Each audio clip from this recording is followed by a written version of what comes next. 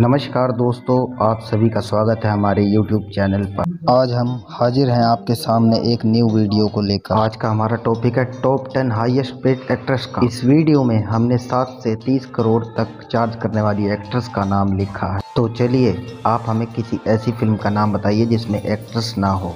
हमें वीडियो में कमेंट करके बताएँ। शुरू करते हैं आज के वीडियो, बने रहे वीडियो के अंत तक। नंबर 10 सोनम कपूर, बॉलीवुड की फ़िल्मों में सबसे कम नज़र आने वाली सोनम कपूर, जो कि बॉलीवुड में टॉप टेन लो में चार्ज करने वाली एक्ट्रेस है। इन्होंने साउथ फ़िल्म के पॉपुलर एक्टर धनुष के साथ रांझना में काम किया। पर आपको शायद ही ये पता हो कि इन्होंने भाग मिल्खा भाग में सिर्फ़ ग्यारह रुपए ही चार्ज की जो कि एक हैरान कर देने वाली बात है। सोनम कपूर ने 2007 से 2019 तक केवल 21 फ़िल्मों में ही काम किया। इनकी पहली फ़िल्म का नाम सावरिया था, जो कि एक फ्लॉप फ़िल्म साबित हुई। 2018 में आई संजू फ़िल्म में इन्होंने रणबीर कपूर के साथ काम किया और ये फ़िल्म हिट हुई। सोनम कपूर एक फ़िल्म में काम करने का पाँच से आठ करोड़ का चार्ज लेती है। ये अपने एक सौ छिहत्तर करोड़ के बंगले में अपने पति आनंद आहूजा के साथ रहना पसंद करती हैं। और इनके पास चार करोड़ रुपए की गाड़ी भी है। इनके नेटवर्थ की बात की जाए तो वो लगभग सौ करोड़ रुपए है। Number nine Kajol Devgan top nine low charge करने वाली एक्ट्रेस का नाम है काजोल। काजोल ने अपनी पहली फ़िल्म बाजीगर में काम किया, जो कि उन्नीस सौ तिरानवे में आई।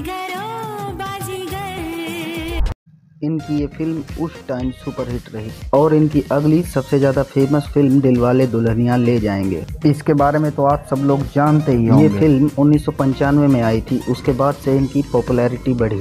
इनकी ये film all time blockbuster hit film रही है। और 2020 में आई फ़िल्म कान्हा जी जिसमें इन्होंने अपने पति अजय देवगन के साथ काम किया जिसे ऑडियंस ने काफ़ी पसंद किया। ये एक फ़िल्म करने का चार्ज छः से सात करोड़ तक लेती हैं। और इनकी नेट ग्रोथ 180 से 200 करोड़ रुपए तक की है। नंबर आठ विद्या बालन विद्या बालन ने अपने करियर की शुरुआत 2003 में अपनी पहली फ़िल्म भालो थोको से की। लेकिन इनकी ये फ़िल्म इतनी कामयाब नहीं रही। पर इनकी 2013 में आई फ़िल्म कहानी से ये बहुत ज़्यादा पॉपुलर हो गई हैं। अब बात की जाए विद्या बालन की लिस्टिंग मूवी तो नाम आता है मिशन मंगल। विद्या बालन की अब तक की ये सबसे सुपरहिट फ़िल्म रही। आइए जानते हैं विद्या बालन के मूवी चार्ज और नेटवर्थ के बारे में। विद्या बालन का मूवी चार्ज आठ से दस करोड़ रुपए तक का है। इनके पास जूहू में काफ़ी सारे आलिशान अपार्टमेंट हैं। इनकी नेटवर्थ 148 करोड़ है। नंबर सात, आलिया भट्ट। आलिया भट्ट अभी तक की फ़ेमस एक्ट्रेस में से एक हैं। इन्होंने अपने करियर की शुरुआत 2013 में अपनी पहली film Student of the Year में की थी। पर इनकी हाल ही में आई फ़िल्म गंगूबाई और R R R Gangubai film से इन्हें कुछ अच्छा रिस्पांस नहीं मिला, पर आर आर आर जो कि एक ब्लॉकबस्टर मूवी रही इस मूवी के लिए इन्होंने 9 करोड़ रुपए चार्ज किए। रणबीर कपूर के साथ आई फ़िल्म ब्रह्मास्त्र से इनके फैंस को इनसे बहुत ज़्यादा उम्मीदें हैं। तो आइए जानते हैं आलिया भट्ट के नेटवर्थ और मूवी चार्ज के बारे में। आलिया भट्ट एक मूवी का 9 से 11 करोड़ का चार्ज करती है और इनकी कुल संपत्ति एक सौ अट्ठावन करोड़ रुपए है। और ये बी एमडब्ल्यू ओडी जैसी महँगी गाड़ियों का भी शौक रखती है। नंबर छः नयन थारा। अगर आप साउथ मूवी में इंटरेस्ट रखते हैं तो आपको इनके बारे में पता ही होगा। नयन थारा का नाम साउथ एक्ट्रेस में सबसे पहले नंबर पे आता है। और इन्होंने तो अब बॉलीवुड की एक्ट्रेस को भी पीछे छोड़ दिया है। और हो भी क्यों ना क्योंकि आजकल के लोग बॉलीवुड से ज़्यादा साउथ मूवी देखना पसंद करते हैं। और इनकी फ़िल्में भी धूम मचा रही हैं। इन्होंने अपने एक्टिंग करियर की शुरुआत 2013 में की थी। इनकी एक मूवी का चार्ज 10 करोड़ रुपया है। के पास इनका एक प्राइवेट जेट और लेविस कार भी है। इनकी नेटवर्थ की बात करें तो इनकी नेटवर्थ एक सौ पैंसठ करोड़ है और ये अपने हस्बैंड के साथ एक लग्जरी लाइफ जीती है। नंबर पाँच, करीना कपूर। करीना कपूर की रिफ्यूजी फ़िल्म जो कि 2003 में रिलीज़ हुई थी इस फ़िल्म से कोई पॉजिटिव रिस्पांस नहीं मिला, पर 25 दिसंबर 2009 को आई फ़िल्म थ्री इडियट ने शानदार प्रदर्शन किया था, और इस फ़िल्म के बाद ये थोड़ी बहुत पॉपुलर भी हुई थी। वहीं इनकी तीसरी फ़िल्म बजरंगी भाईजान, जो कि साल 2017 में रिलीज़ हुई थी, इस फ़िल्म से इन्होंने खूब सारी सुर्खियाँ बटोरी हैं।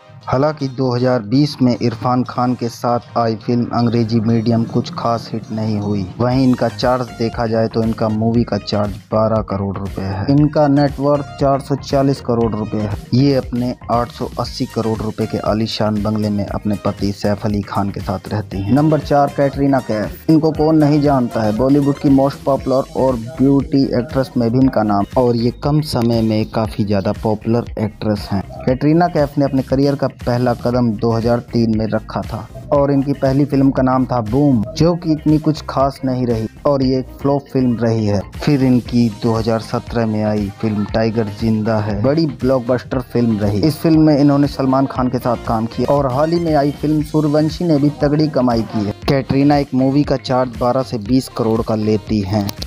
इनकी नेट ग्रोथ 160 करोड़ रुपए की है। नंबर तीन, प्रियंका चोपड़ा। प्रियंका चोपड़ा ने अपनी पहली फ़िल्म द हीरो में काम किया। ये फ़िल्म 2003 में बनी थी, पर यह फ़िल्म फ्लॉप साबित हुई। इसके बाद इन्होंने किस्मत और मिस इंडिया जैसी फ़िल्मों में काम किया। 2019 में आई फ़िल्म द स्काई पिंक और गंगा जल भी फ्लॉप रही। इनका मूवी चार्ज 14 से 23 करोड़ रुपए का है और नेटवर्थ 632 करोड़ की है। ये भी महँगी से महँगी गाड़ियाँ खरीदने का शौक रखती हैं और उनके पास अपना खुद का प्राइवेट जेट भी है। दूसरे नंबर पर सबसे ज़्यादा चार्ज लेने वाली एक्ट्रेस हैं दीपिका पादुकोण। इनके करियर की पहली फ़िल्म ओम शांति ओम, जो कि 2007 में आई थी। इन्होंने इसमें शाहरुख खान के साथ काम किया था।